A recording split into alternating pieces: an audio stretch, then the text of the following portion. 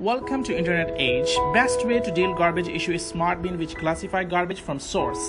Also introduce home use smart bin with intelligent classification. This is all because of green and recycle Alliance have already comes true.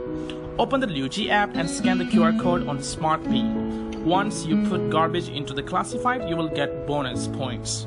Users also can get bonus points by swiping smart cards as well. The area manager will receive signals with sensor when trash bin is full, then, then the bill will be cleaned by cleaners. And the classified garbage will be moved to smart garbage factory.